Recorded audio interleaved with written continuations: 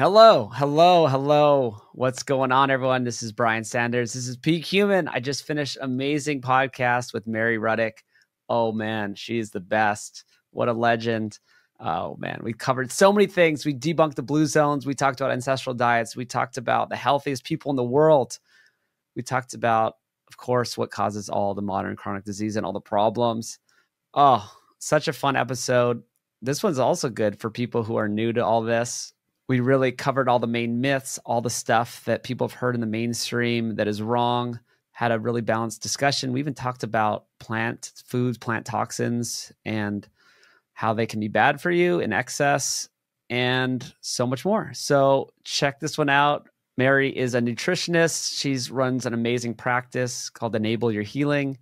She travels around the world studying the world's healthiest people. She's going to all the blue zones. She's been almost everywhere you can think of. Check out her previous episodes with me. She's an absolute legend. I'm telling you, everyone loves her. She's so knowledgeable about this stuff. You're really going to enjoy this podcast. You'll definitely learn about animal based diets. And uh, we actually even talked about pork a lot this episode.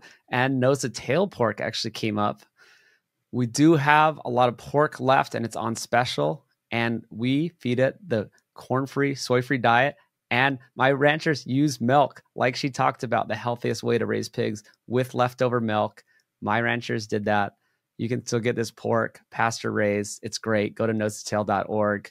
Support our ranchers there. Get the body care there. And thanks, everyone. Enjoy this episode with Mary.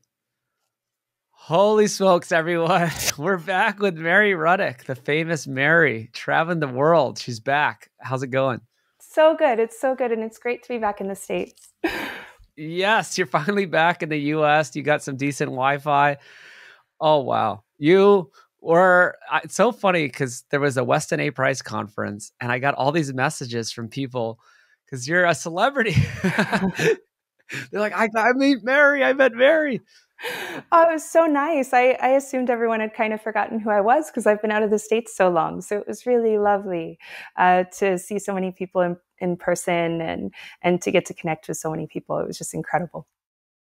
That's great. We'll talk about your presentation too, because that uh, kind of can guide us in this discussion. All the new stuff you've learned over the past few years. Recap for people. I had Mary on many years ago with a two part episode that people loved, people went crazy for. And then we did a four part series recapping our trip to Africa together. So Mary was with me and my uh, filmer Jay for Food Lies, and we uh, went all throughout Africa, visited all these tribes. It was amazing. Mary set it all up.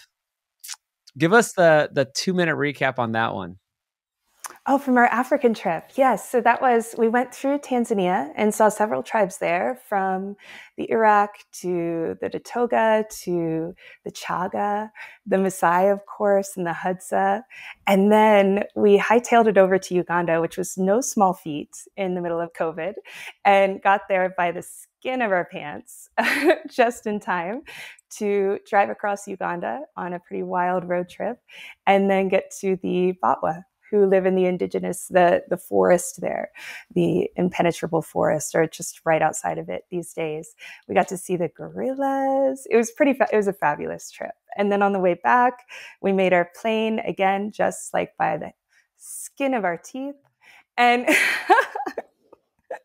and became instant friends. It was a wonderful trip, really wonderful trip. Uh, I headed down to South Africa after that. I think you guys went back to America, correct? We did. We made it home safely. I had my huge, uh, what was it, like a machete from the Batwa that I brought yeah. back on the plane.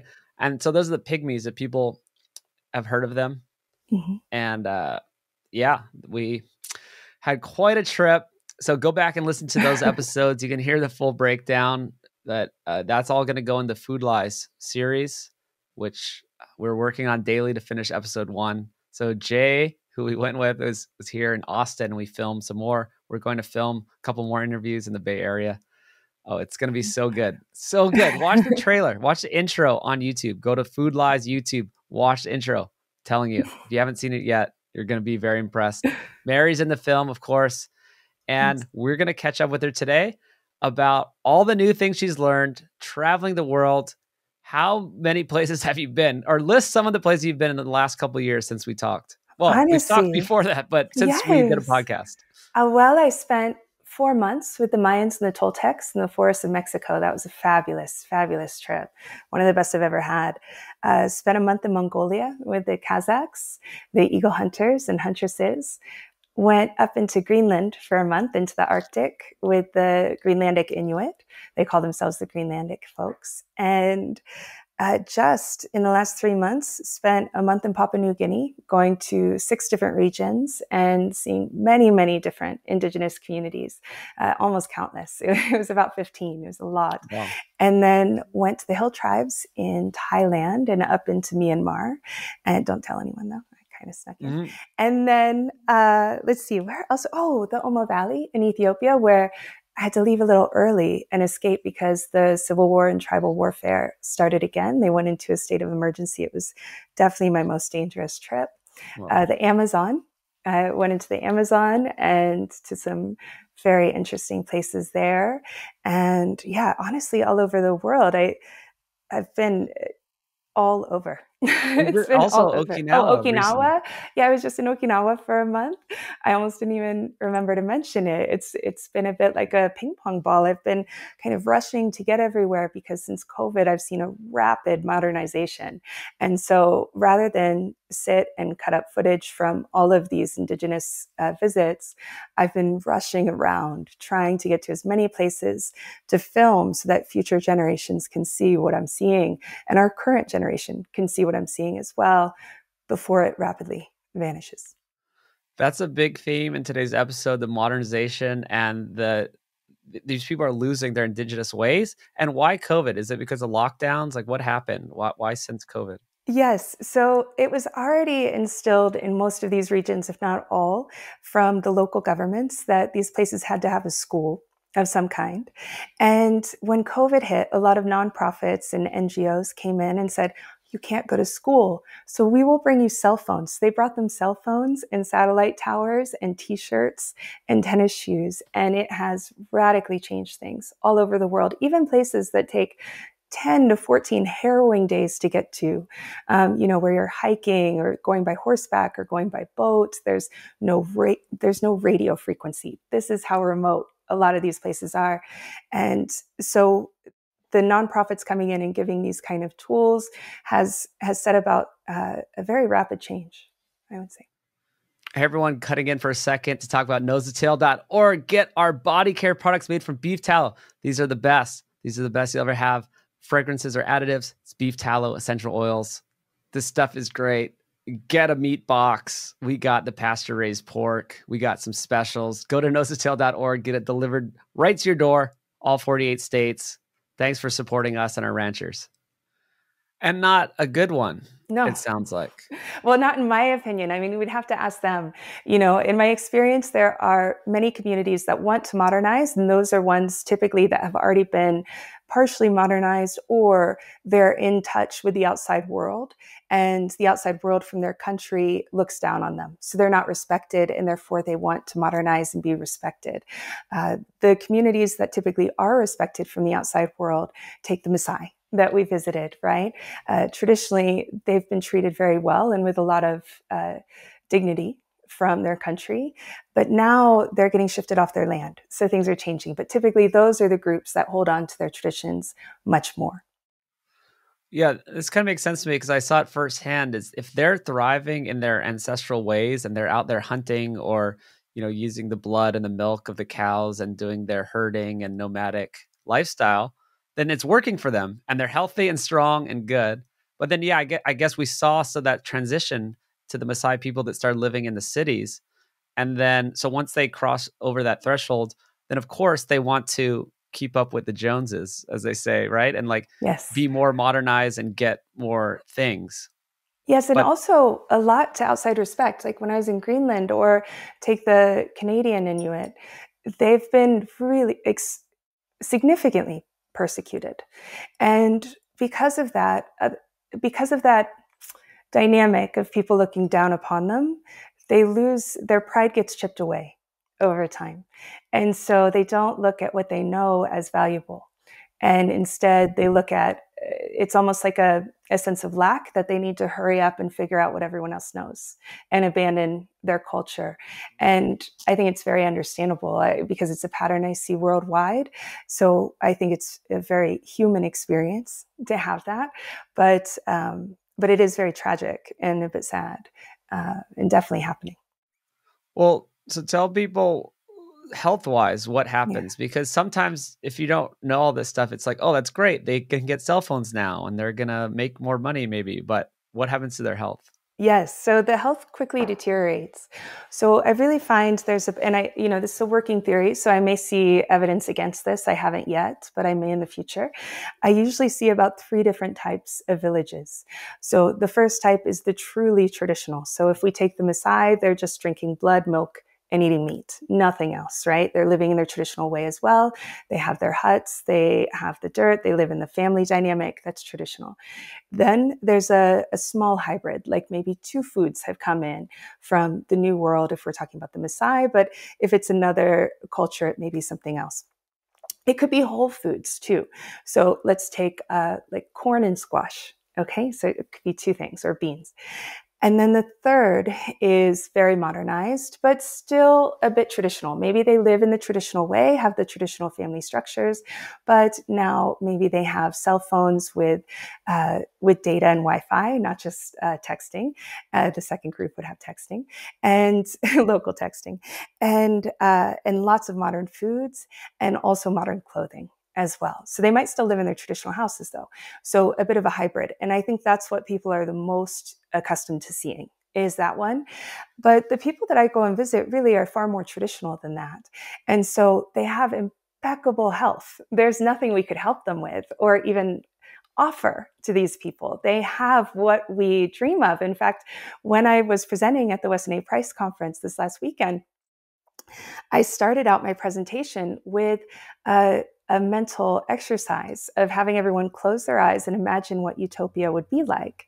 And we kind of brainstormed together. And most people would say, you know, oh, family, everyone's healthy, lots of energy, um, plenty of food to eat. Uh, in nature, all these things, and everything they came up with, and also the things that they came up with that we wouldn't have in a ut- utopia, like headaches and chronic illness, immediate illness, uh, dying from a young age, or uh, dementia, all of these things as well, including mental disorders like depression and anxiety and insomnia. Um, none of those would be in utopia.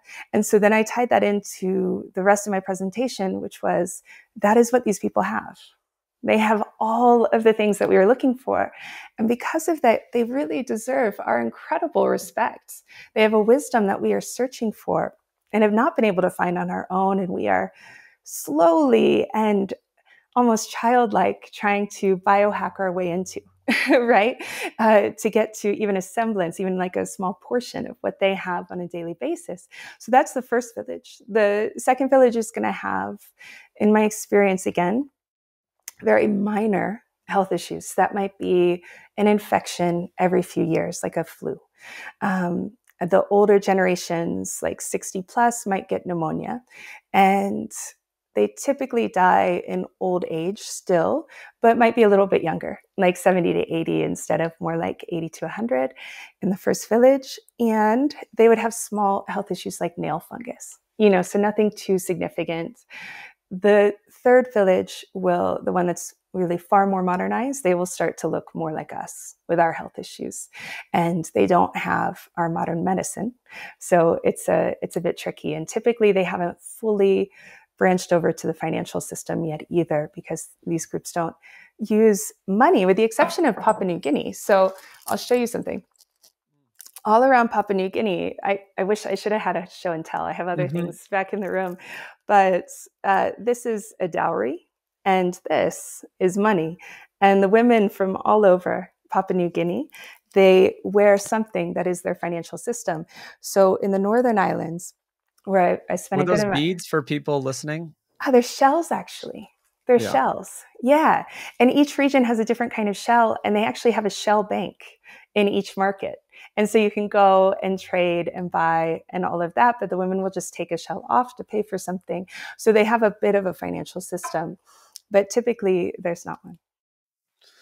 Wow. So I saw some of this. Mm-hmm. I was at the beginning of Mary's journey and she's done so much more since then. But I remember we had the tribe of elders that we set up and we thought we were going to find all these healthy people in in old age and we actually found out we were in an agriculture village and not one of the first villages categories that you mentioned and so these people were eating a lot of ugali and they were just kind of reliant on the corn paste you know they get the paste of the goop and they they don't have a lot of animal foods to give them the proper nutrition and they were kind of breaking down and they were hunched over and they had all these problems. So is that is that kind of what you saw elsewhere as well? Yes yes so that's that's what I start to see. So that would be in the third type of village. So there was clear arthritis there. You could see it, right? Um, yeah, you start to see those things. But even for them, they, you know, they were an early enough generation on the modern living that they didn't have a lot of things until they were elderly. So most of their life, they were very healthy despite all the changes because they were raised until childhood. Maybe like depending on which ones we asked, some were younger than others, but they were raised on a lot of traditional foods and then it shifted. So they had the animal nutrition and then they lost it, not knowing it was so important. And I thought that was such an insightful meeting that we had because they talked about the younger generations and how the younger generations are dealing with all these health issues that they didn't have at their ages. Um, and it, it was also really good to see the kind of uh, generational influx of chronic disease and when it comes in and uh, the patterns. Yeah. yeah. So just to kind of reiterate that, it's the the oldest people that we saw. We saw a woman that was 105 in in Uganda, jumping around, dancing, stomping and she was still, you know, moving around. Like she was doing her thing. And so she didn't get any diseases into the old age. So the older they were, the the older the diseases came in. And they were saying now the youngest generations, they get diseases very early, right? So that's the main difference is how fast these chronic diseases come into societies and the early ages that they happen at. Well, and more than that, in the truly traditional regions, they don't get chronic illness at all. They die of old age and they don't get sick before it. So they go to sleep at old age and then they don't wake up. So in all of my all of my questioning, all of my reporting, uh, they're very healthy into old age. And then the second the second tier type of village, they'll get some illness in elderly years. And then the third would be more like the arthritis and the chronic stuff. That starts at like 60 plus, you know, kind of like what I don't know if your parents' generation was like this. My parents and my grandparents' generation was like that. You don't really get anything until you're at least 60, you know? And my grandparents was like more like 70, and now we're getting it much younger. So I know my family is a bit more spread out in terms of generations. So it may be mm-hmm. different for each of you, but well, well, that's the main thing, and no one's really putting this together because the mainstream is not talking about it, or they're just prescribing medications or just normalizing it. It's actually what I posted online today is that they're doing the new obesity injections for six year olds. Right? They're I'm testing. Sorry? Yeah, the Ozempic. They're they're like shooting up six year olds with Ozempic and stuff. Wow. It's insane. And so this is now yeah. the new normal that society's created, and the narrative is saying that this is fine and this is what happens and that we just need more obesity drugs to be injected into six year olds. Wow. That's a bit scary. Those haven't been tested generationally or in, you know, pre pre fertility age people, you know? It is yeah. wild. I, I I wish people understood this on the mainstream level. Like they just don't. I even on Instagram I post about it, and my degree zero people, right, the people who are really get really on the same yeah. page and they get it, they know what's going on. And then you go one step away from that. If uh, one of my Instagram posts goes a little viral, and then there's sort of random people seeing yeah. this, I can see the comments and they don't get it.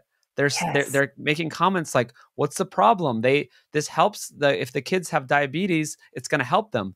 And I'm like, "Are you crazy? Your kids diabetes. This used to be only for adults." Yes. Right? A diabetes used to be an adult disease and then they would call it how, what was the progression of that? So I usually see the progression of that in the type 3 villages, and they'll get that about age 55 plus, often 65 plus. They might get type 2 diabetes. We're talking about a very small percentage, though of the population, mm-hmm. right? Like we're talking like two to three percent of the population. So it's not a large percentage like it is here in America now. But even if you look at the graphs here in America, it's just shot through the roof. Um, 20 years ago, 30 years ago, we never saw childhood diabetes, with the exception of the 0.00 percent fraction that had type 1 diabetes right and so totally different type 1 yeah yeah type 1 is totally different and so we're seeing just a shoot through and honestly living overseas and with how rarely i get home it, it's shocking when I land. It's shocking when I land. One, I know as soon as I get on a plane where someone's weight is spilling over into my seat, I'm headed towards America if not already there. Mm-hmm. Um, there are benefits too, like people are very friendly. So, not just the negative, but in terms of health, it's very apparent. There's a lineup of people for wheelchairs. When I landed in Cincinnati, my, my family's from Ohio. When I landed in Cincinnati, there was, you know how there's a rack for luggage that you get by mm-hmm. the baggage? Well, there was also a rack first for wheelchairs. Ooh. You don't Ouch. see that anywhere else in the world. For it's really elderly people or for b- very heavy people? All sorts of things. There was mm. at hmm. least eight people coming off my flight that were going to a wheelchair. And whether I'm in Europe or Asia, you just don't see the need for that, right? Oh. Every once in a while, you might see an exception where there's a person, but it's not the common. And so, yeah, the health here is is other. It's it's like another thing, and I think uh, it's been such a benefit to be outside of the world a little bit, both for the 12 years I was sick and then also for all this time I've been overseas because it's kind of jarring when you come back. I'm not in the fishbowl. You know, it's not water to me. It's something very observable. And I was telling, I was telling the crowd at the conference, I was sitting down at a restaurant with my parents, and on the table of this fine dining establishment, there was an advertisement for treatments at the hospital down mm. the road. And I was like, what? what? How has this become so normal that uh, that illness is just uh, everyone has it, and it's something to create a better a better drug for. Yes. Okay, this is hurting my head. So throughout history, we were healthy and then we dropped dead. We died of accidents or maybe some severe infections to do with tainted water, right? So it's we're healthy and then we die. Then as you it's this slow progression. It's a seems like a very linear slope yeah. down of as you get more into modern society, modern diet and lifestyle, you get disease earlier and earlier until now we're at the peak where you get it at 6 years old. Yes, that's what I'm seeing, definitely. And also all the mental disorders. It seems like everyone in the States is on a, a, drug for anxiety, depression, something, something, something. You know, there's hundreds of diagnoses now in the mental ra- branch. And that's indicative of, of being utterly unhealthy, right? You're not making your feel good chemicals. Uh, and there's, there's probably a lot of reasons for that, uh, dietary and lifestyle wise, and birthing and family structure and community and all sorts of things that play into that. But you can't deny that it's not here. And when you go places where that doesn't exist, it, it can be pretty jarring. Yes. It is. I remember mm-hmm. you asking questions to the Maasai and the Hadza, and like, does, does anyone have, you know, this mental problems? And you're describing it through a translator, and they're just like, mm-hmm. no, no, no. Do they have autism? You, you, you know, you found ways to describe autism yeah. to the, no, no, never heard of this. Do you have back pain? No. It was so funny. I'll tell this story again. We've kept asking about back pain for elderly. And finally, they're like, oh, yeah, yeah, this guy fell out of a tree. and we're like, no, no, no, no, not because he fell out of a tree. Does anyone just have chronic back pain? They're like, no. Yes. But yeah. Uh, tell us more. No, go into the mental stuff. That's good. Yeah. Let's, let's do the mental stuff. Do the mental there's, there's and also the emergency because you touched upon like if someone had an accident, they do actually have a lot of places I go have ways to treat those. Like since I saw you last, I was shocked when I was traveling throughout Central and South America. The treatments, the successful treatments they had for deadly snake bites, snakes that would kill us quickly. They had amazing, remarkable remedies for it. So while they would have the scar on their leg, they wouldn't die or have to get an mm. amputation like anyone else. So, and that's without a hospital or anything else. In fact, they they refused to go to the hospital. So Okay, but to to the mental state, yeah, even down to the fact that the women don't get PMS. It's it's on all levels. They don't have attention issues. They don't have insomnia. They don't think about things to make them anxious. When someone dies, they're sad for the appropriate amount of time. So they're not robots, right? They have an appropriate emotional response, but it doesn't stay it doesn't stay. And so they don't have the uh, impact, the negative impact on their life that we might, right? If we lose someone, we can go into a serious grief, depression. Women who give birth now, it's just common that they'll have um, significant mental health issues after giving birth. This is not seen. Uh, it's it's literally across the board. And then, of course, like you mentioned, no autism. Everyone makes eye contact. Their heels are on the ground. They're social. They're friendly. There's no introverts, which is something I always like to bring up because that was so shocking to me. The lack of introversion. Everything is done socially. You sleep all together. You eat together. You hunt together. You sew together. Everything is very, very social with no one trying to get away and, you know, recover or have a mental health day. There's there's no such thing as a need for that. And and you get into the gut health too. Do you yeah. think that's a big factor there? Thousand percent. Yeah, I think the posture and the gut health, and also the the bonding, the social bonding, all helps with that. So with our gut, we know that we need a lot of cholesterol in our diet in order to be able to make the feel good chemicals, uh, and the sex the sex hormones, which which sex hormones for anyone who's gone through menopause or uh, taken external hormones. You know how much they affect your mood, or just been around a woman who's having PMS, right? So we all know how hormones affect our quality of life. They may not kill us or keep us alive, but they drastically affect our quality of life. And these folks make wonderful sex hormones. And a lot of that is down to their social structures. Because our hormones are different than the cardiovascular system, the nervous system, in that they respond to stimuli and to relationships. And so it's very important the relationship dynamics you have if you have imbalanced hormones. Well, they, they don't have to worry about that because their dynamics are kind of perfect for the hormonal system. And so it's the, the ability to make the feel good chemicals within the gut lining to rush up to the brain. Most of them are made there, not all, but most. The uh, in the gut. Yeah, in the gut. Yeah, the wonderful amount of daylight that they get, right? Daylight stimulates mm, yeah. our dopamine and serotonin and gets our melatonin going at night. The lack of light at night helps them get into deep sleep, which if any of you have kids, you've seen what happens to people's moods when they don't get a good night's sleep. So that's very important. And then finally, the communal structure. We need a lot of eye contact and physical touch in order to have a healthy mental state. We produce different hormones when someone is making eye contact with us when we are speaking in person, when we are touching, when we are hugging, when we are sleeping next to someone. And those things are very, very important for our health, not just our immune health, like many people know about, but actually our mental health as well. So I think all of those things play into this just incredible uh, fortitude and almost wellspring of joy that they seem to have. It's great. Yeah, yeah, I saw it. I saw it, and you've seen it more than I have. What about the food component? There's two mm-hmm. sides mm-hmm. to food, right? There's just the nutrition side, the the pro side, and then the negative side of anti nutrients or you know bad ingredients and stuff that would could affect the gut. Yes. But tell us more because we haven't uh, talked about nutrition much. Just give True. people the high level view too. I mean, we're talking about they're eating animal foods all day, every day. Yeah, all day, every day. And like when we were with the Hadza together, the young boy who we all think is going to be the chief, I saw him again recently, oh, a yeah? couple times actually. Yeah, he's he's nice. definitely on his way. Uh, he was eating dik-dik brain, right? And he was passing it around. It's everyone's favorite food.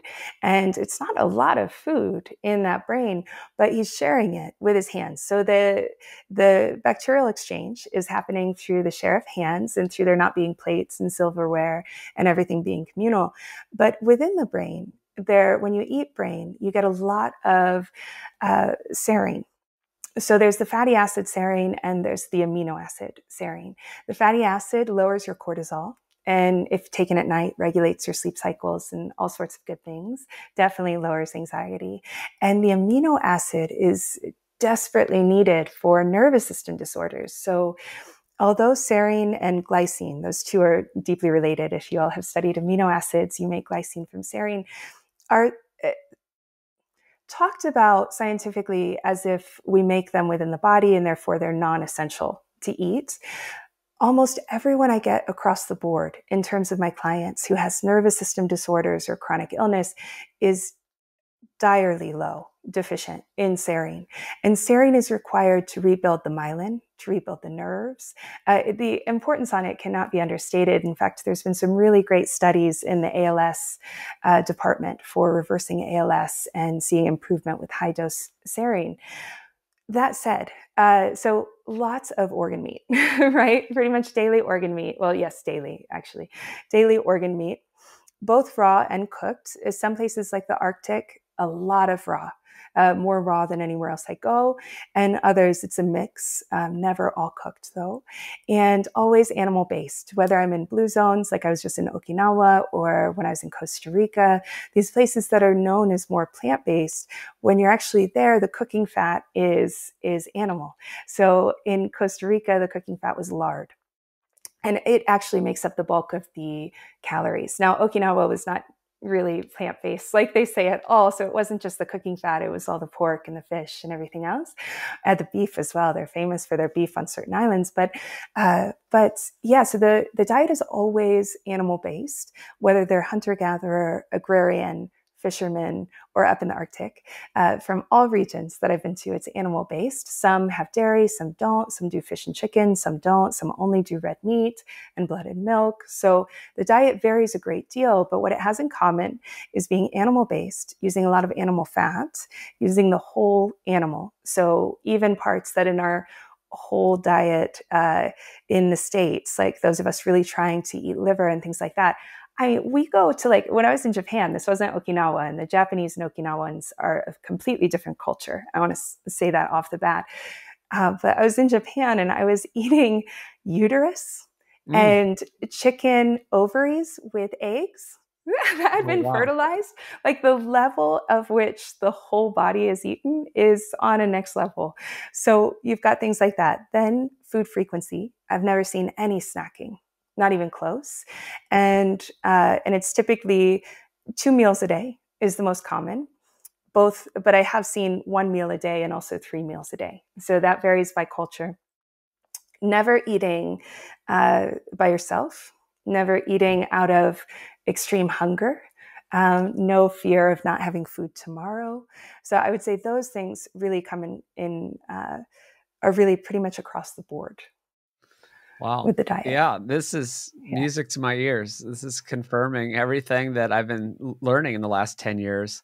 Mm-hmm. And you've seen yes. it firsthand. This is yeah. amazing. So so it's not but they're not eating like pounds and pounds of liver, but they're they're sharing it, right? Like we we shared a dik-dik and it's a small animal and then they share little pieces. Yes, I, I, think we experienced it together, but remind me. Uh, they would take out, say, the liver, and they might eat that raw or cooked, but a, piece goes out to everyone. So no one's sitting down to like two pounds of liver, right? The only exceptions I would say to that is if someone is going to battle, if someone is going to give birth, or if someone is ill. They would do more organ meats than the mm. norm. But because you're eating animal every day, there's organ meat every day. Like when I was in Mongolia, when they served uh, the first meal, and it's communal style as well on a big plate that everyone eats off of and you eat with your hands. And uh, like the head was in there, the whole head, you know, was yeah. on the plate along with yeah. everything else. And, and, uh, and three animals were mixed in. There was horse and sheep and yak all on the same big, huge, like table sized plate, uh, just for a normal dinner uh, with a family.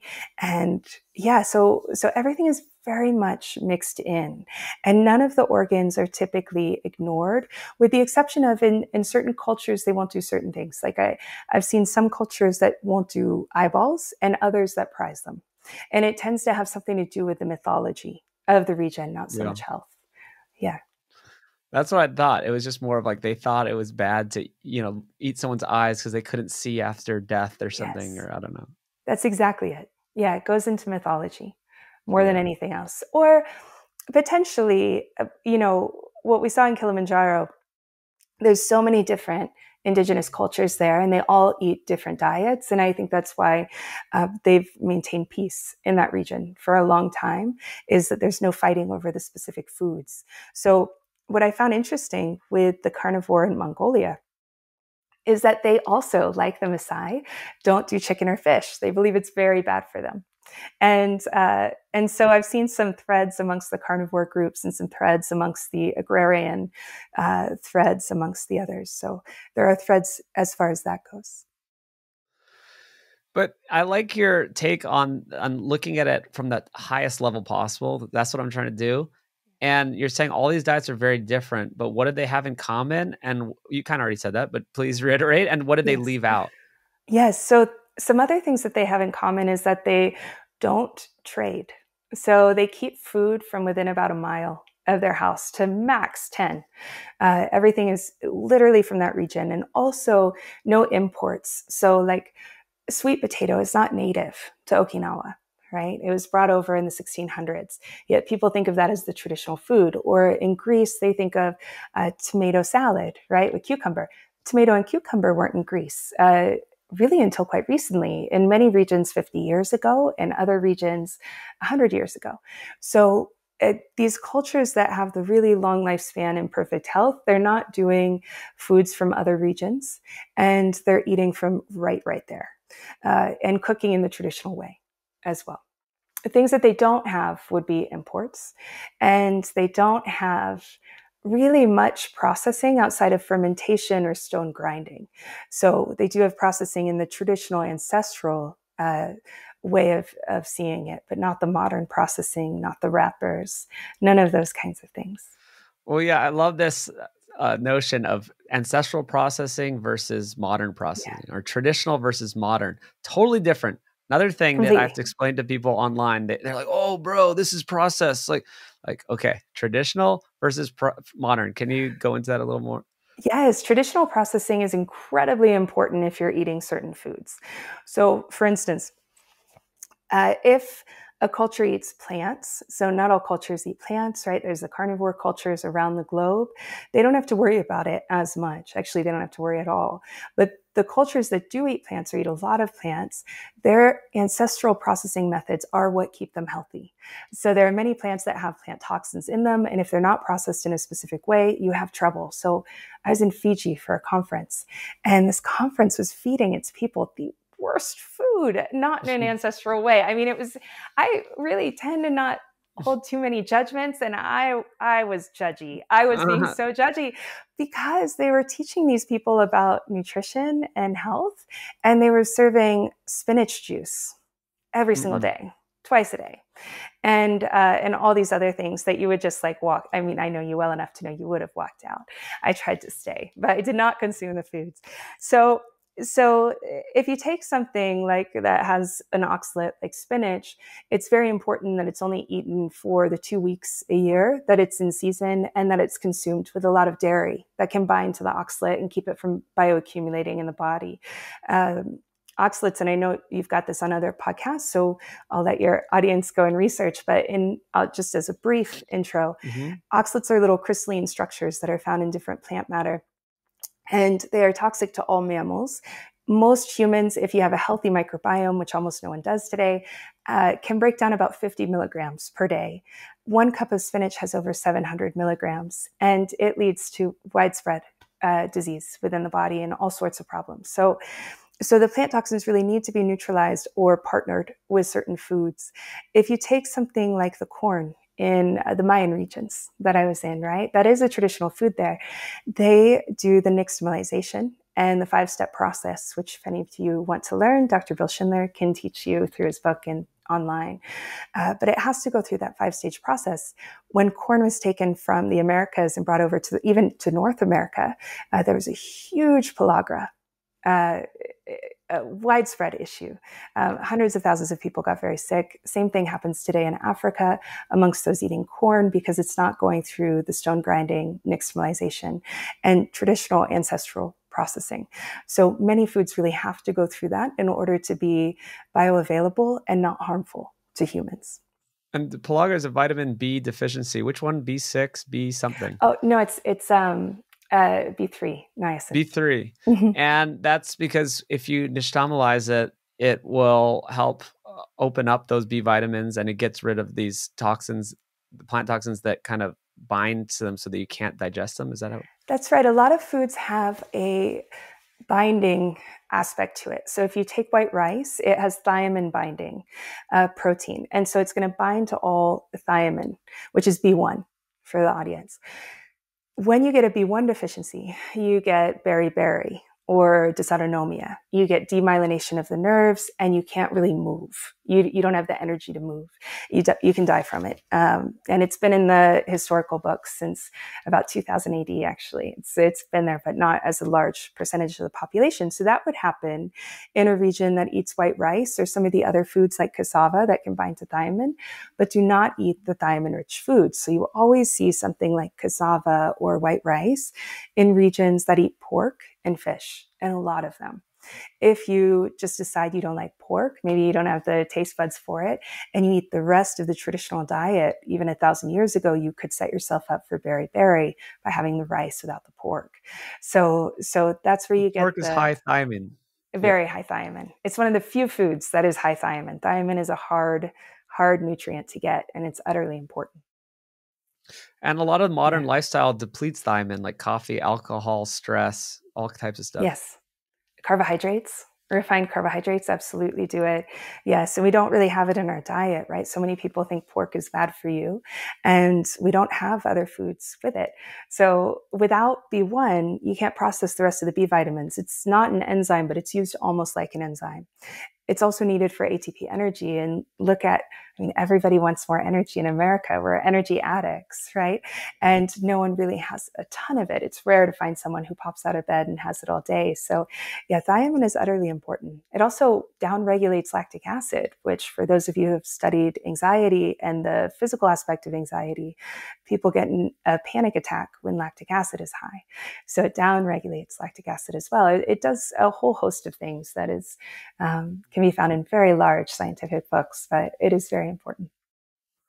Well, shout out to a big Food Lies supporter, Michael Cournoyer, who's actually supporting Dr. Chris Knobbe as well and, and his travels and, you know, doing the Weston Price stuff that he's doing, kind of like what Mary's doing, is going around the world and looking at these native cultures. But yeah, he's big on the thiamine. He has a thiamine advocacy group or he has a whole foundation around it and he's found a lot of people they have these unknown illnesses or d- chronic diseases and high dose thiamine will solve them so yes. he's doing cool stuff and you might have to do some a lot of supplementation you know usually I, I don't like supplements but it, you know if you're like very depleted in thiamine you probably need some this like really good high bioavailable thiamine to get back to normal yeah, I agree with that, especially the fat soluble. I was never big on supplements, but that one is definitely an exception. Yes.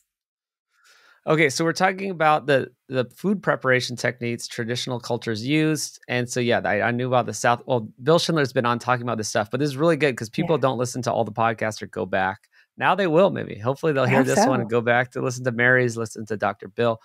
But people don't really understand that plants do have defense chemicals, and it's not that plants are all bad. It's just that cultures figured this out and realized they had to do these processing techniques.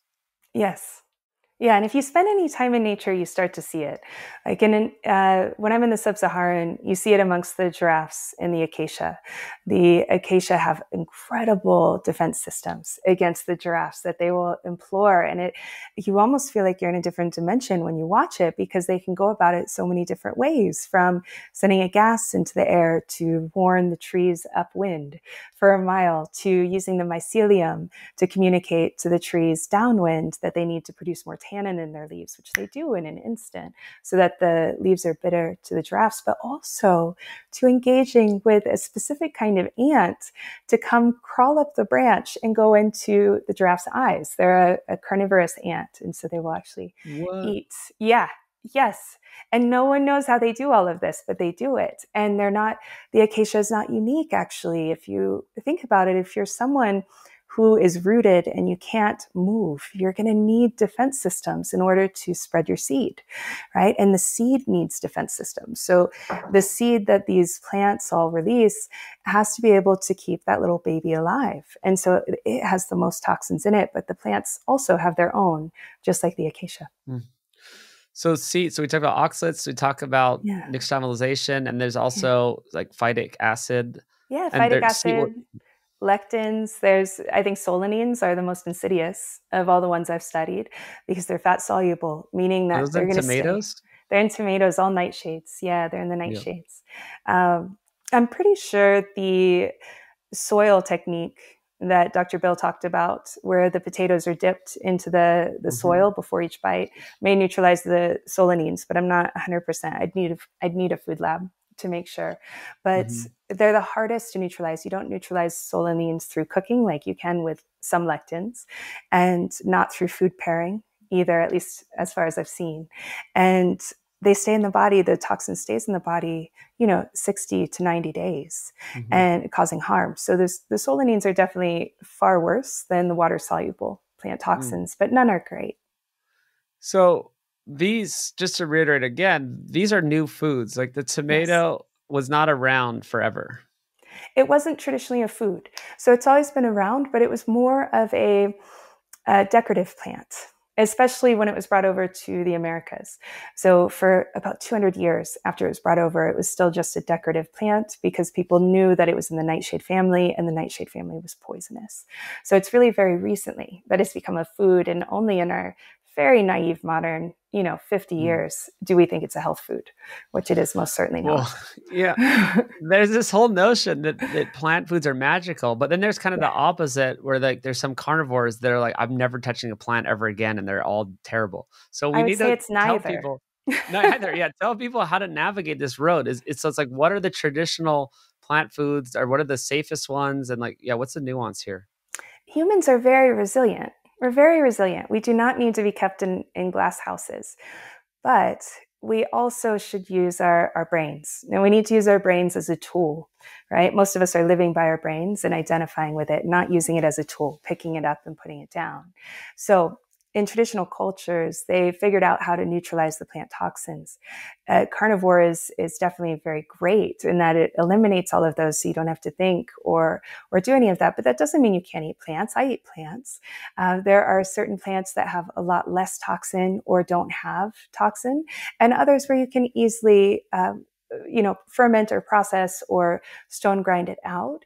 And so once you learn that, then you can decide what's worth your time. Like uh, for me, I go based on preference, like what I actually enjoy eating, and then is it easy to process out, or can I get it? Like if I when I was in Mexico with the Mayans, I absolutely ate their uh, corn tortillas. They were made with lard, and they were stone ground and nixtamalized and all the goodness. Um, I didn't eat a lot of them, but I did eat them, and uh, but when I'm in Greece, I do not eat a Greek salad. I do not eat the tomato and cucumber salad nor would I. I'm not interested, right? So I go based on what I enjoy eating plus uh, what's been done properly. And outside of that, I, I really avoid the fear because the fear itself is incredibly harmful for your body, incredibly harmful. Yeah, I, I don't like that that creating food fears or orthorexia around it. It's like if someone made me a Greek salad and they're very proud of it, and I was at their house, like, oh, yeah, I'm gonna eat it but yeah. it's just I'm not gonna eat it every day. You know, exactly. It's, yes. Yeah, and you would pick different foods than me. But I think when we're healthy, like you and I are, we have a broader range that we can choose from. So when I'm working with clients, uh, you know, the more sick they are, the more rigid the diet, and uh, really decisive the diet is. It's not that nothing should be rigid, but it should be strict, right? There's a real difference there. So uh, so if someone is uh, disabled and dying or dying quickly, we're probably going to go with like the Mongolian, you know, or the Maasai type diet. And then the healthier they are, and certainly Which once they're in remission, pure yeah, animal based, pure animal based, ketosis, all the things, right? Mm-hmm. Um, and that would depend on the person because you have people with other issues these days, like they have a high toxin load, and so they may need something to bind to the fat soluble toxins to pull it out. So uh, it's not a hard fast like this is the only way. There are a lot of ways to summit the mountain, but that's a, a good start. like that's a good way to start. And then, and especially not if they have a, a, high oxalate load in their body. Like if they had been vegan for a long time, eaten a lot of raw nuts and done the vegetable juicing and salads, uh, carnivore would not be wise to start with at first until you see what kind of load they have. But the healthier the person gets, the more plants I allow. And there are certain plants that I allow in abundance as long as they're eaten seasonally uh, or recommend. Let's say I'm not I'm not a disciplinarian, recommend. And and others that really should be processed appropriately if you're going to consume them. So like if we're taking something like wheat, eat it in France where you can have a properly three day fermented croissant and and bread. Or if it's um, if it's corn, have it with the Mayans, right? Not corn on the cob. Those kind of things. That's great. But is there any uh, kind of advice? I know it's hard to go through every food, but generally, yeah. what are the traditional foods we've been eating the longest with the lowest toxins? Oh, okay. Well, I would say carrots. Carrots are pretty low. Mm-hmm. Uh, onions and garlic and mushrooms, especially the Asian mushrooms. Uh, not to say that they don't have any. There's some things in mm-hmm. there, but lower. Uh, lettuce, like butter leaf lettuce, not romaine, not the others, but let- butter leaf. Herbs, fresh herbs. They do have toxins. They have uh, thiols, and they also have um, some oxalates and things, but usually in the portions consumed. So like ginger, yeah. yeah, it's perfectly fine, and don't they don't need processing, which is really nice. I'd have to like kind of fruit. think about it. There's well, like two. There's like low sugar fruits, and then there's yeah. like sugary fruits. I mean, people have different yeah. opinions on the sugary aspect, but yeah, I mean, avocado is a fruit.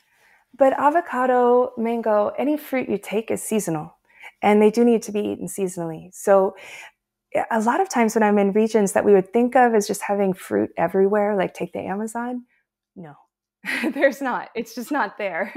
And uh, and even when I took you through Tanzania, you know, we didn't even see the berries that the group that was there the week before saw. Oh, yeah. So things are very very seasonal and short lived. Or take Greece, which has a very long growing season. You know, the figs are there for three weeks and they're delicious, but you're not eating those year round.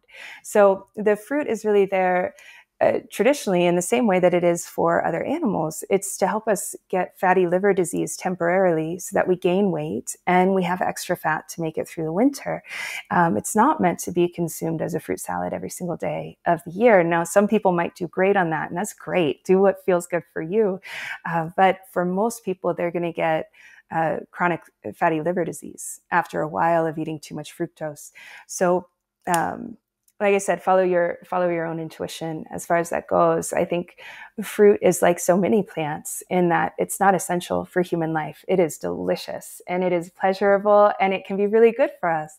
But it really depends on where we are and what our health is is like in that time.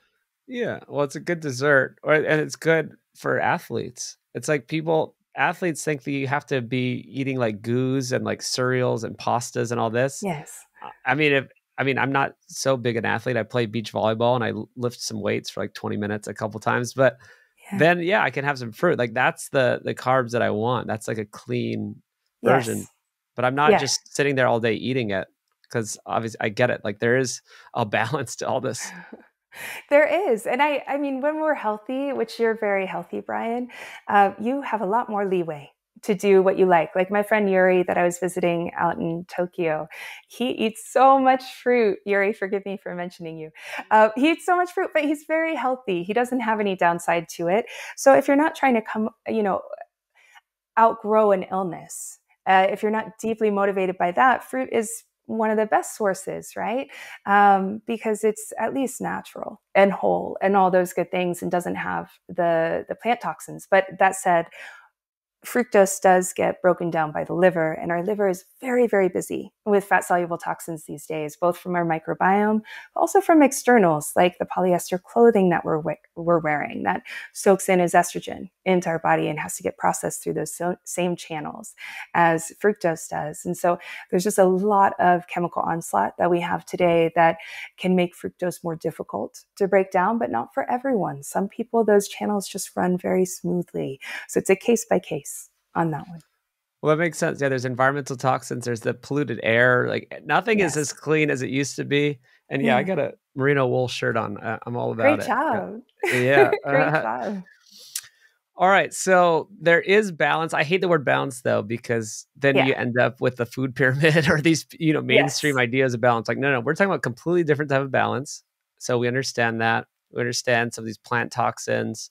We talked about traditional processing. So modern processing, I guess that's obvious to people, but that's just everything in a boxed package. That's, you know, refining wheat. That's all of the modern stuff that is should be avoided. Yes, yeah.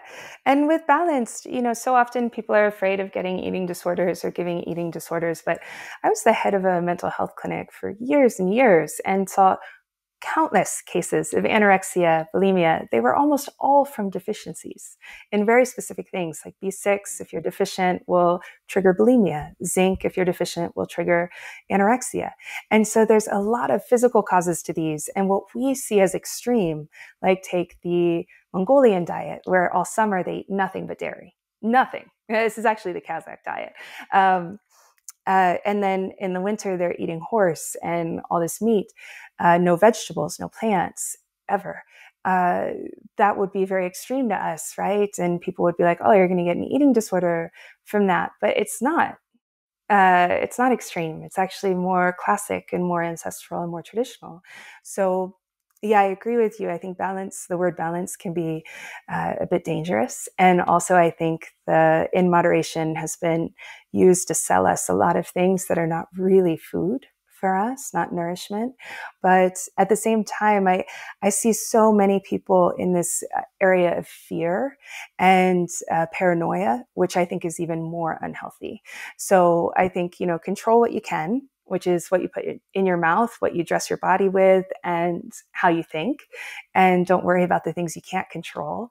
And always feel good about what you're doing, whether mm. it's what we would call an extreme diet, which is not, or a very uh, quote unquote balanced diet, which also mm-hmm. is not. yes. Yeah. I like it. So back to the the anorexia and these deficiencies, yes. bulimia. That's so interesting because mm-hmm. I feel like some of these people who they, it's this vicious cycle actually that they get they, they're told the wrong information they're they're trying to diet and they're avoiding all animal products for example and then they could be really low in zinc and these other vitamins and then that triggers the more severe mental disorder or eating disorder is that yes. kind of correct uh, Yes, a thousand percent. Yes, zinc and B6 are really rich in animal products, and and they're utterly important. If you don't have enough zinc, you you can look at all the animal studies, which there is a plethora of, where they pull zinc out of the animals' diets and they all stop eating. Mm. All of them. Yeah. Wow. Same thing with B6. If you pull that out, uh, animals and humans binge binge and then restrict, binge, restrict, binge, restrict. It's not life circumstance. It's not your mom telling you to diet. It's not the scale or, or the reaction to the scale. It's very, very deeply nutritional. That's amazing. And no one knows yeah. about this. It's, yeah. But they, we created this through our backwards nutrition ideas. Yes. Completely. And it seems like women they they're kind of preyed on more with all these crazy diets, and it's like you got to avoid meat, you got to avoid fat, you need avoid cholesterol and then they well, get these bodies, disorders. Yeah, our bodies are really designed, the female body is really designed to put on weight, right? That gets us through hard times and helps us give life to others, but it's designed to put on a small amount of weight, right? To have those rounded hips, not to be chubby or obese. And what a lot of the, uh, because of that, when the American and when the worldwide diet started to shift, women saw it first, right? So women would gain weight when men wouldn't. And because of that, women were more inclined to immediately start and try to fix something. Of course, that's also that a lot of our value comes in being beautiful right and attractive. Classically and and i would say s- still today although not across the board uh, one of the things that makes a woman very valuable in a man's eyes is her beauty and that includes being svelte except for the the few that are into like those feeding fetishes and things like that. Mm-hmm. But but in general and it is different by culture uh, some cultures like a more rounded woman but in general svelte we'll call it not skinny but svelte. Whereas for men it was traditionally more being a provider right? And creating safety and a home. So we still have some of that in us. And because of that, women typically want to look good and, and will do a lot to get there. And I think that's very obvious by the amount spent on the beauty industry, right? Surgeries are through the roof right now. So, what's the solution? Eat an ancestral diet? I think the solution to everything we've talked about today is uh, public education on the wisdom that these traditional cultures have. And I highly recommend to anyone, if they have the time or the gumption to do so, to look into what the ancestral traditions really are and have been. Because if you go in line with ancestral traditions, it's a lot less likely to get into these kind of trouble situations that the, the plant based diet can bring you, like the zinc and the B6 deficiency or the juicing with the oxalate issues. It, you don't have juicing in traditional cultures, uh, not vegetable juicing, and you, and you don't have uh, entirely plant diet in traditional cultures. And so these things can be immediately taken off the table rather than discovering through years and years of accumulation and then new chronic illness uh, that it wasn't the right way to go for your body. So I, I think that's if we can uh, do kind of public wide education, gain respect for these cultures, potentially, potentially they would uh, turn that respect onto themselves, keep this wisdom alive in their cultures, and uh, continue to be uh, the small little window into what is possible mm. for human health for the rest of us in society. I appreciate that, but I also talk to a lot of people. My job is talking to people basically yes. about this stuff for years and years and years. Yes. And it's hard for them to understand. And it's hard for me. I'm not going to change anyone's mind in a 10 minute conversation when they say, well, I like to drink the green juices. And how yeah. could that be bad? And plants are magical. And I do feel good when I do it. Or I lost 10 pounds and this is what I did. So there, I, I don't know what's going to happen to them, but there could be this long term lesson, like you mentioned, that they could learn the hard way. Yeah. But also, maybe it's fine for them. Maybe they're not going to overdo it. But how do you broach this topic with these people that they, I have to do this almost every week, right? Where yeah. I'm talking to people and they're just all about it. And what am I going to say to them? I can't even imagine. I, I, don't even try. Socially, I keep it off the table as much as I possibly can, with the exception of if someone is coming for my advice. That's very different. But I would have no friends if I was talking about food at dinner parties. So I try to shut those down as much as possible because I enjoy my friendships and and my social relationships. But um, I think it has to be well, one, what you're doing is utterly important. This whole podcasting and YouTube sphere is I so wish it was around when I was sick. People are learning about things so much faster. But in terms of getting to the the broad public, like to to where the laws could change for the indigenous cultures, which right now are horrific. Like they can't wear their clothing and be seen by anyone, and all sort. There's there's some very restrictive laws that are in place. So to really get at that aspect, I think it has to come from the top down actually. And from studying international conflict management when I was younger, when I've seen that work has been when there's a lot of pressure from the international community.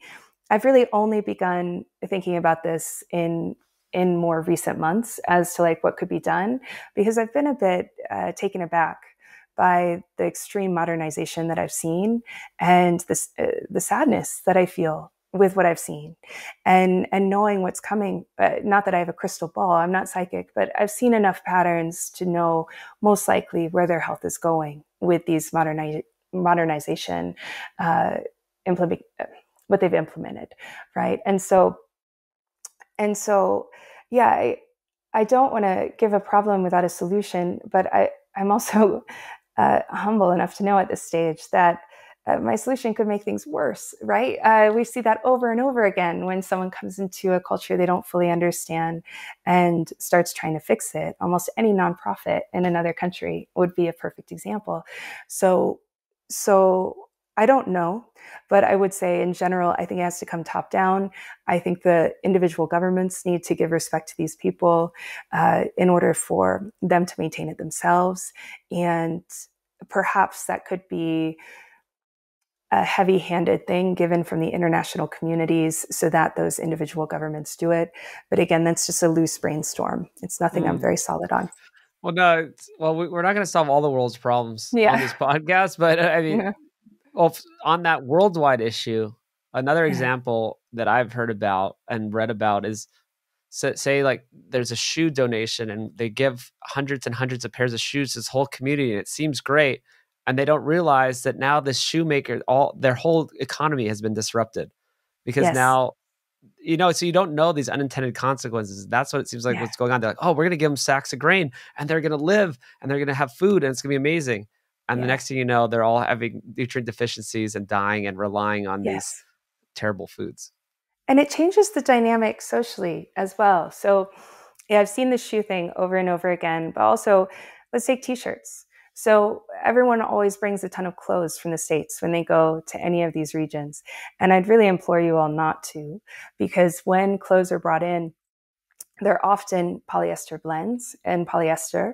You're giving them to people that have always had either no clothing or things like silk, like I'm wearing, or wool, like you're wearing, or fur, things that are naturally antimicrobial and therefore do not need to be washed and wick moisture very important. Polyester, um, all of the modern materials, they do not regulate heat, they don't wick moisture, and they need to be cleaned. And so when uh, indigenous communities put these on, they of course will sweat or get hot or get cold. It doesn't regulate their temperature, huge problem. And two, it keeps the moisture in. So they start to get skin funguses and infections that are actually very significant. Finally, the shirts break down. They don't know how to care for these items, right? They also don't have the equipment to do so. And so they start to get holes. Well, to them, having holes in these clothing, it's nothing. They don't even think of it, right? They still feel regal and all these things. But when foreigners come in and see these, these communities in clothes that are falling apart, they think, oh, these poor people, what can I bring you? Let me bring you things. And so it turns into a savior and victim complex, which is a huge problem because you bring in the religion, you bring in the clothing, you bring in the food, and suddenly the culture is falling apart. And it would be like if, um, I gave this example recently. It would be like if aliens came down and were like, oh, hey, humans, you guys are doing everything wrong. Let us fix it for you. And we started looking at them as the authority figure.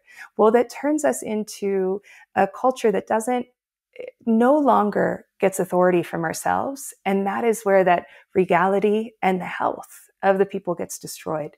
So small things that may make us feel good or that are very well intentioned to really genuinely do something good for someone can can really destroy a whole culture. Well, and the alien example, it's like, and what yeah. if they started telling us how to eat and what to use, and like, oh, well, you yeah. just need this like xenon, you know, gas for your your bodies will be, do better, and you know, all the, it just won't work. Exactly.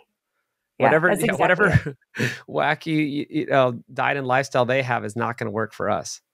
No, and it's a problem. So, like when the grains are brought in to a culture that's not used to them, let's take some uh, some of the communities around the equator. So they're dealing with a lot of infections. Like when I was in Ethiopia just a couple months ago in the Omo Valley, they had a horrific outbreak of bilharzia, which is a, a parasite that's in the water that causes paralyzation and death. It, it is a bad one. You don't even know you have it for six months to two years. So you're just walking around mm. just fine. And then suddenly you're not.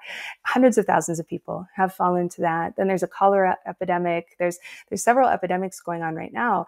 Now, if you or I goes there, we are going to be a lot more prone to getting that. And if we took an average American, even more so, right? But the the cultures that are still living in their tradition and eating in their tradition, they don't get these things. It's only once they start eating our food that then their immune system is weakened. And now, even though this thing has been in their environment, it's now a huge problem. So, so yeah, it's I I had this wonderful English teacher, a writing teacher really, in high school, and he was always getting us to write about where we were. For me, I was always interested in exploring the world, so I was like, "Oh, it's a bummer. Okay, I'll I'll write about Ohio." And he was saying that that uh, you know the most about where you are, and so that is always what you should write about.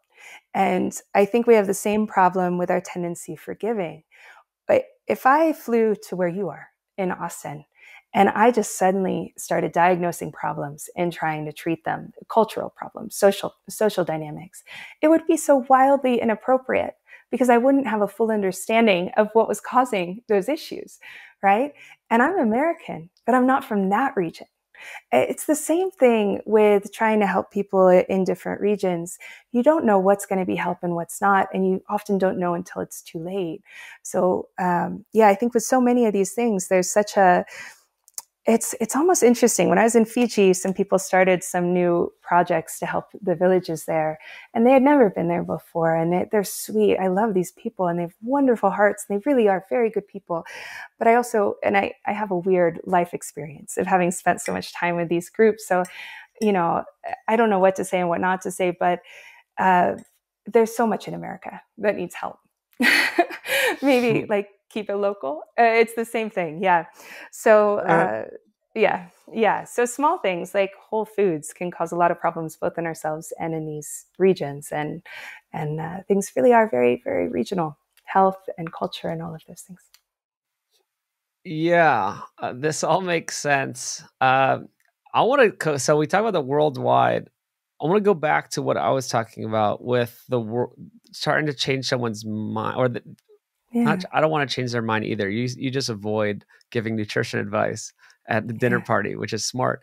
But I'm not a nutritionist, and I do. People do ask me for advice, and I mm-hmm. will give it maybe, or I try to do very broad things or really work with them and where they're at. But how would you talk to people about how uh, what they're doing like they think that they're doing the right thing or they're bought into this view do you do you if you had to try to work with them and they did ask for help how would you yeah.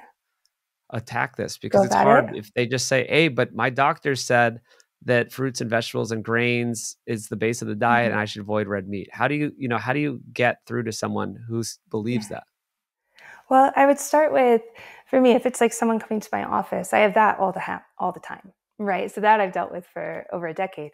But uh, usually, I I would take it from, do you feel your best right now? If not, then maybe let's look at other things. And I would always address the doctor issue of our doctors are not educated in this field, so they don't have more knowledge than you do, or the public does. And the public is primarily educated by the food companies to sell things, especially in America, but honestly, everywhere. You and I saw all the vegetable oil being sold and promoted throughout the, the couple countries in Africa that we went to. So I usually start from there. And then I start from a historical context. And what I usually get with people that aren't sick or that are just trying things, like people on the juice cleanse when I was in Fiji, is uh, there are different levels of nutritional knowledge. And so, one practitioner, or like take the medical medium, or someone who's not even uh, trained in anything, right? Um, uh, but promoting this kind of thing, you're going to see success with any change of the diet if you're coming from as drastic of a place as the American diet. You're going to see a change in some people with anything that you change in whatever direction you go. It doesn't mean that it's an optimal human diet or ideal for that person. There are levels of knowledge and those of us those of us practitioners, especially who work with the sickest among the sick, uh, the most disabled, we have to go the deepest and we have to know the most. And there are constantly new layers being developed and being discovered, really, not developed, but discovered. And I, I, imagine that will continue and continue and continue because what we have done is made something very simple that never had to be thought about, very, very complex by messing with nature. And so, and so, uh, and so, you know, typically the argument is like, well, this guy teaches this and he gets all of these results. And I would say, yes, and he will with a certain portion of the population. But this next practitioner who teaches this, they deal with more sick people. And so they have this level of knowledge, and this one has this level of knowledge, and this one has this level of knowledge. And so it typically gets peeled back as the person themselves has dealt with things. Uh, so, you know, many people in our community have gotten out of a health issue and, and they tried the things everyone recommends and it didn't work. Uh, and uh, the other is from practitioners that work with the, the sickest of the sick and that those techniques do not work for either. That's a good point. And Mary does that, by the way. Uh, you should go back to listen to our first episodes that we did. And she has an incredible story of healing herself and, and tons of other people. But yeah, like any anyone on Instagram can just start posting pictures of salads and, you know, help people get from the American diet to salads. That doesn't mean they know anything about actually deep nutrition or, or healing really sick people.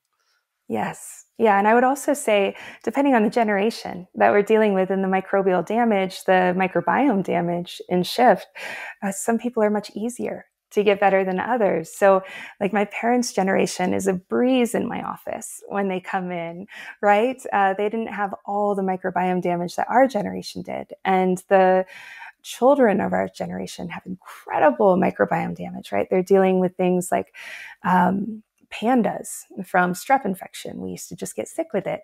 And so it's, it's significantly different uh, with each generation, and therefore things that worked in the 80s are not always working in the 2000s. what do you think that microbiome damage is from? Oh, definitely from all the things we are doing from our diets, uh, from the antibiotics, number one, and the C section births. Those would be the two biggest, along with not nursing or nursing as long. But also the shift in our sleep schedules. The lights really shift our microbiome to a great deal and also not being outside and the lack of touch and community that that does as well. Um, but of course our diet our diet a lot. So the combination of our modern diet plus antibiotics is a huge one. Yeah that that's exactly what i thought through all the interviews i've done. It's it's all those same stories and not yes. having a normal birth. Yeah the c-section you don't get all that microbiome from your mom uh, the oh yeah not the not breastfeeding. The in, the formula is a nightmare Yes. Yeah. And the child also needs that bonding and that feeling of safety. I don't know if you noticed, but the kids just don't really cry in the traditional villages or even in like like stage two villages they're not really crying there's not temper tantrums and things like that they're very very calm and bonded and they let anyone pick them up um, they feel very safe we don't have a lot of kids that feel safe these days yes i noticed that too uh, the the worse the diet. I mean, I don't know that many families. Like, yeah. not all my friends have kids, but you, you, can tell like the different diet. It's pretty yes. obvious which ones are getting the good diet and which ones aren't. Yes, and, and also to the microbiome. Yeah, when we first showed up with the Hadza, they had that dik-dik, and we were eating the liver, and they just had this dirty knife that's never been washed, and so they dirty. cut it open on a rock, and it was yes. covered in dirt, and it, then the piece of liver they gave me was covered in guts too. It was yellow and white and green, and it had all this weird stuff on it from the guts. And I just ate it, and I felt amazing. Yes. I think my microbiome improved so much since going to Africa. I'm so glad. I'm so glad. yeah, I think I'm really lucky. I get I get touched with that stuff all the time, and it's very common for the film crews I take to get sick. You guys were an exception. Uh, it's very common for a lot of stomach, whether it's vomiting or diarrhea. So far, knock on wood, I have not had it once, and I feel really lucky. I've been able to eat all these foods and kind of contribute to my good good bacteria with these trips. Oh, I've yes. never felt better on these trips. I never have stomach issues. It, it's great. Yes. That's why I think these Harvard researchers, I've probably told this story like six times on a podcast about these these Harvard researchers that study the Hadza and they think they're it's magical because they eat like 100 grams of fiber per day. I'm like, they don't eat 100 grams of fiber no. per day. Where are you getting this from? No, and all all of my trips to the Hadza, and I've been so many times, and amongst different clans and different villages, but I keep returning to the same ones as well. I haven't seen almost any fiber, like almost not, any. But yes. the story the story goes is that we ate the tubers with them when we are the second Hadza group we were with, yes. and they baked the big old tuber, and then they gnawed yeah. on it, and they spit out all the fiber. It was indigestible. Yeah. This was not, and I think that these scientists come in. Harvard has an agenda. People know that by now. Yeah. It's a nightmare. It's a propaganda outlet, and uh, from the food industry and farm and whatever agendas. And they they're like, oh, let's weigh this giant tuber, and we'll calculate how hundred grams of fiber. Like they didn't eat any fiber. They spit it out. They got a little bit of glucose out of that, and they spit yeah. the rest out. And not all the clans eat the cassava, right? So some of them do. I love cassava. I eat cassava. I will have it in my kitchen when I'm in the appropriate regions. But um, there are a lot of problems with cassava. There's cyanide and other things. Uh, and there's good things to it as well.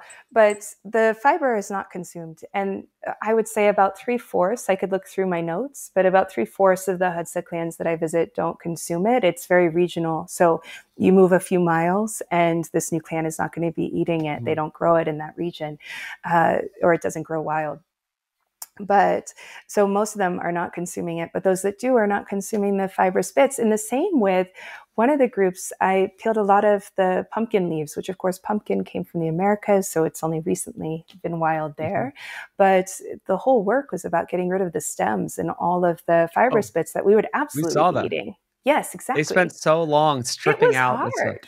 I was bad at it. I got judged by ladies, it, yeah. rightly so. I had no idea what I was doing. It was difficult. Yeah. But but that's yes. just a modern thing. That's a modern yeah. thing. That's a whole other story, which we won't get into, is is how they're pushed off their land. They can't hunt big animals. Yeah. Well, there haven't been big animals for a long time. There used to be way more giant megafauna roaming the earth. And now they have even less animals to hunt because they're pushed off their land. So of course they're trying to find cassavas and different tubers and whatever leaves. Yeah, and I, I wouldn't even say like trying to find. It wasn't like they were hungry. You know, they just, uh, that food was there. And while the men went to hunt, the women would prepare the plants.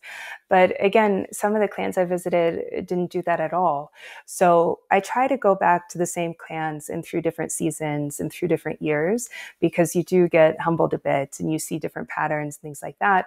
But I definitely have some clans that to this day I haven't seen them consume plants amongst the Hadza. So um, that could be luck of the draw when I'm there each year or each season, but it's not like a I, I, so often I, want us to see from the regular Americans uh, and, and listeners standpoint, which I know your audience is much better educated, but in general, um, in this area, the education is really lacking. People tend to think of the indigenous or hunter gatherers as constantly hungry and like, uh, mm. you know, mm. their life is threatened for not getting food, and uh, they're never hungry.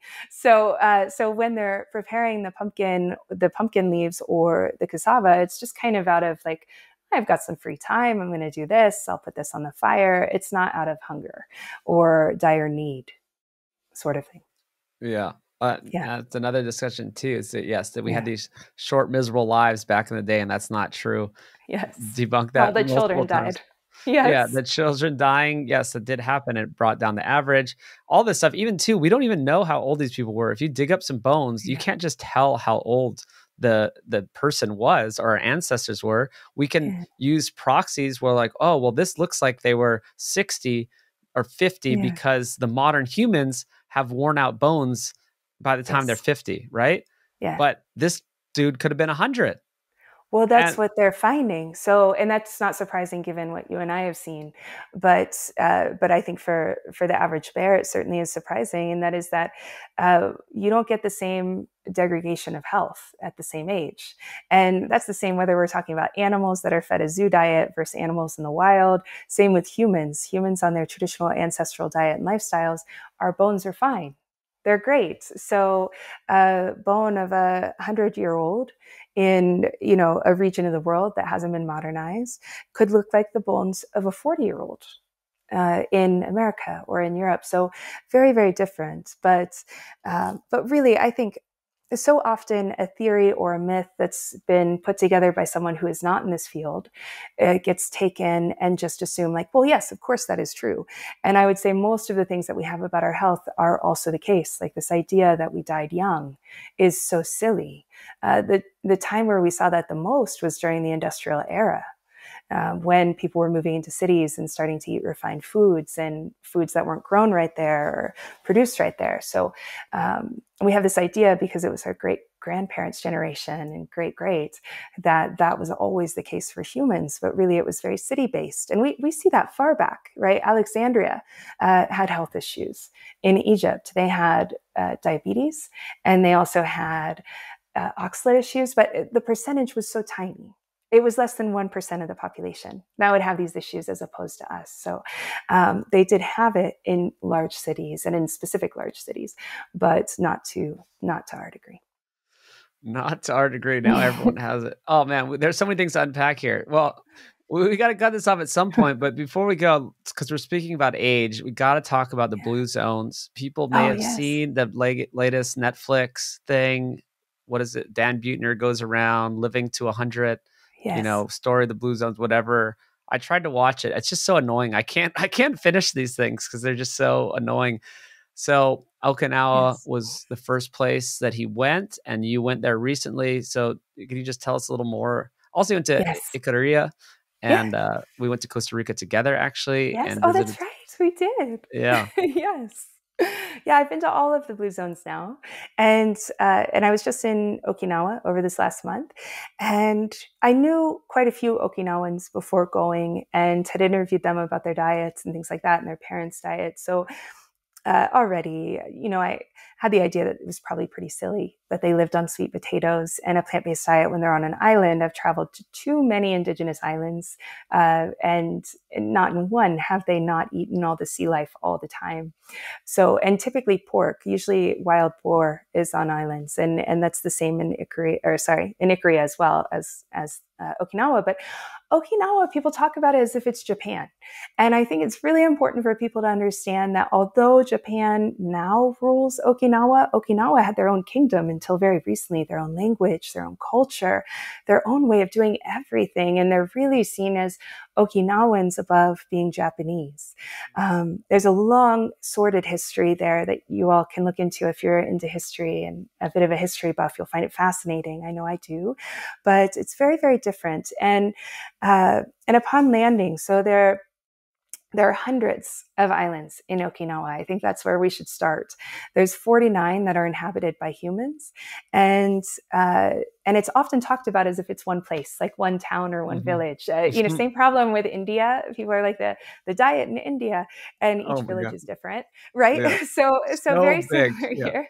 Yes, in fact, when you speak to an Okinawan if they're from a specific island like Ishigaki or Miyako, whatever island it is, they'll have a specific food that they recommend. Like, oh, you must have the Ishigaki beef.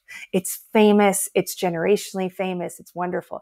They'll have a recommendation and it is always animal based every single time. Mm. But I think a problem is that with many of these blue zones is that there's people going in that are not have not formally studied nutrition or medicine or any of these things in order to have an eye for what the people are actually eating and what's on the plate and also an eye for health conditions as well. Um, they're also not historians so they they miss a lot of the picture but very few people speak japanese right that are going to okinawa. And i don't know any foreigner that speaks the local language. So there's a lot that can be missed there, just like with Greece. But to be honest, you don't even need the translation issues for this one because the food is so apparent. Pork is everywhere, fish is everywhere. The amount of animal products there was mind blowing. It wasn't like Costa Rica where it's like, okay, well, I'm not surprised. You know, there's pigs on each farm and they're eating the meat and using the fat for things and uh, for cooking. No, this was like so blatant that you had to almost look for where are the where are the vegetables, where are Mm. the plants, like because rice Wow. isn't a traditional food there. So in the in the big cities where you have the U.S. military base and things like that, you have things as modern as McDonald's there, and it looks like a Vegas. No lie, like I was so confused when I first landed. I expected it to be modern, but not that modern. There's there's uh, neon lights, and there was just like all the things that you would see on the Vegas Strip, right? Now, in addition, there was traditional things there. So if you had an eye for it, you'd know what to see, like the the habu hard alcohol, which they call sake, but it's really more like a, a vodka or something much more stiff, and that has the very poisonous snake that's inside it. So they have four deadly snakes on the island, more in the water. We swam with them. It was not as scary as I expected, actually. I thought I'd be really afraid of those snakes in the water. But the the deadly snakes are all over the islands. Uh, they're in the cities, they're everywhere. And they catch them and then they kill them and they put them in the hard alcohol. And this is a famous drink that you drink there. Um, but yeah, lots and lots of the pork and the seafood and all those things. And it is a different diet than the Japanese diet. So I want to really emphasize that. So after the first island, obviously I needed to get out of there and get to some of the more remote islands. So I went to some of the most remote that you can get to. And there's still modernity on those islands too, but nothing like the first, nothing. And, and really lacking in the things that you need as a foreigner. Like you can't get around, you can't get taxis, you can't, there's no Uber, there's none of those kind of things. But people are very nice. I hitchhiked a lot. and, and the people that picked me up also ended up kind of touring me around and taking me to private beaches and all sorts of wonderful things. So very, very friendly, very safe, very calm culture, and uh, very lovely. And the food on each island was slightly different, but it did always have a very heavy animal base. I mean, we're talking like three fourths of the diet as animal based. The sweet potato, the purple sweet potato, is so often promoted everywhere, but really, um, that's just part of the diet. It wasn't in most places I went to. And the bitter melon that's been talked about as well, it was in the grocery stores. The grocery stores are like markets. Um, so less like what we have in the States, more like a market. And, uh, and, uh, like a small, it would be like one bitter gourd for the whole market. So it, mm-hmm. it wasn't, it wasn't a large portion. And then right beside it would be so much horse meat Mm. So, so much horse meat, so much beef, so much pork, so much seafood. Um, and, uh, and just really wildly different than it's been promoted. So I took a lot of mm. videos and things, but you know, I, I think the blue zones are, are just really quite silly to be perfectly honest after having been to all of them now i i see better health in all the indigenous places that I go to or anywhere that still does very traditional diets and lifestyles. And, um, and so not the blue zones. You're, yeah, you're like anywhere you go where they're still really living traditionally. That's yeah, anywhere you go. It's are. not just five yeah. places. It's all over the world on all the continents. Um, they're quickly disappearing, but I think that could be reversed very quickly. The yeah, most Greek villages that you go to are going to have the same thing. Whereas as soon as you get kids going to college and eating modern diets and then coming back, yeah, that all goes to pot. But you see that in in European cultures, not in and all throughout Asia as well. So in places that have very very big cities like Okinawa, you can have these perfect kind of like. Uh, it's like people have an aura around them that protects them. You know, you wouldn't know how to explain it unless you you uh, had studied a long time or had seen a lot of these patterns. But uh, it makes a lot of sense. We we can be healthy on so many different diets, but there are things that we need. There are things that we absolutely need to have, and all of these places have that. So, uh, yeah, Okinawa was was no different. I would say it was more modernized than some of the blue zones. Um, not not all regions, of course, and I certainly didn't go to all 49 islands. I would love to. Anyone can fund me at any time, uh, but totally joking. I don't even have a way to do that. But the uh, but the uh, but it was it was just so wildly clear that they're not plant based. Well, yeah. Also, I, I read about that they did some of these studies that they mentioned in the Blue Zones book or stupid TV show that it's like, yeah. oh, it was like 90% sweet potatoes diet. This is what I read is that this is, yeah. they took this right after World War II when they were destitute. They had no way of getting uh, the animal foods that they were used to, and they were forced to just survive on these potatoes. That's exactly what it was. So they had to give their food to the soldiers. So they were eating primarily sweet potatoes. And what argument I've seen online is uh, from the plant based crew is that, well, now they're getting health issues because they're eating the meats and things like that. But mm-hmm. no, any historian or just open up any uh, anthropological book on this region, they were eating what they're eating now. They were eating the meats and the fish and the horse and all these things, uh, and not primarily sweet potato beforehand. And they were greatly healthy greatly. And in fact there's a there's a man i just caught his ted talk because i've been trying to understand more of how they could have gotten okinawa so wrong. Um, and it's most people that wrote underneath the video could not understand him because he has a heavy accent.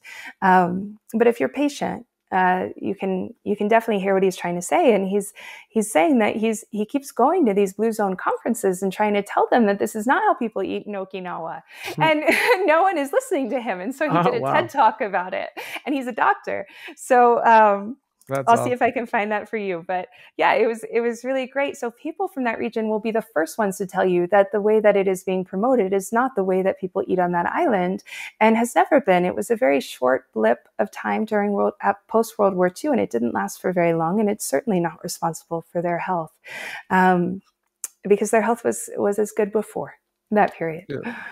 Well, it's also just simple nutrition. It's like there's nothing like nutrient wise that sweet potatoes have that are magical. It's it's pretty yeah. empty in nutrients that the body and the brain need. It's just starch. Yes.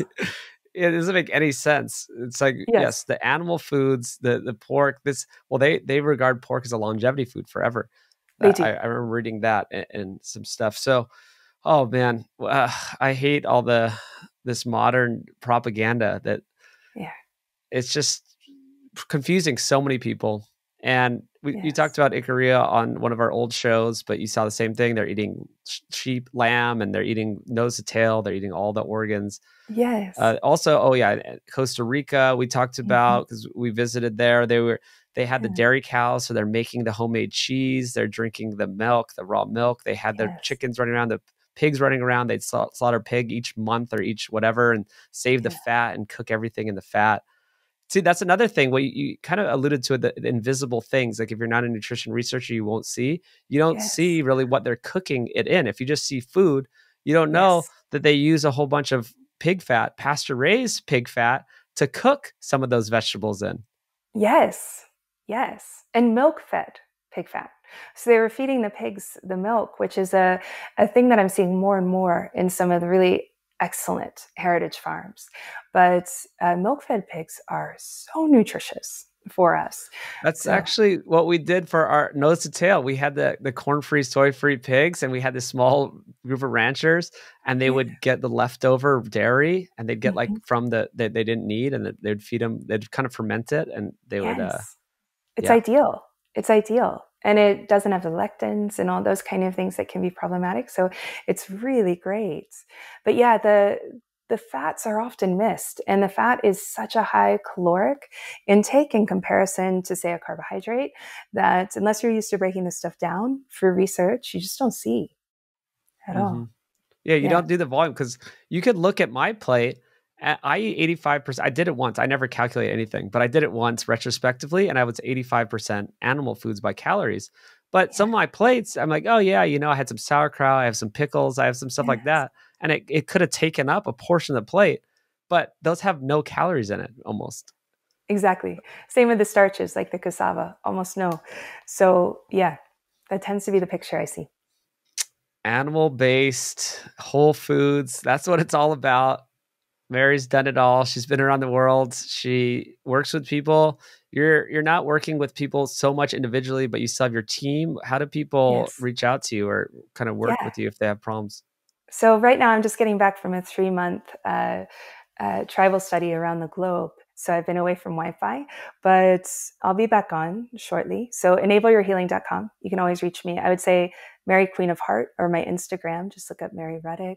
I'm not active on there like you are, Brian, and so many other people because I'm often either out of Wi-Fi or when I'm in, I'm back at work and catching up on on everything like emails and whatnot. But I do hope to cut up all this footage and make it available to you all soon. The um, I'll probably start maryruddick.com, like launch that soon because Enable Your Healing is really becoming more of my nervous system disorder uh, program. But I'll keep you informed, and that'll be on my Instagram when that happens. I have a little small fledgling YouTube as well. So when I can get mm. things up, you can find that. But again, everything can be found under my name. Just Mary search, Ruddick. yeah, search Mary yeah. Ruddick. You'll find her. yes. Amazing. It's been so good catching up, and uh, I'll see you soon. All right. Sounds good. It's so good to see you again. Take care. Thank you.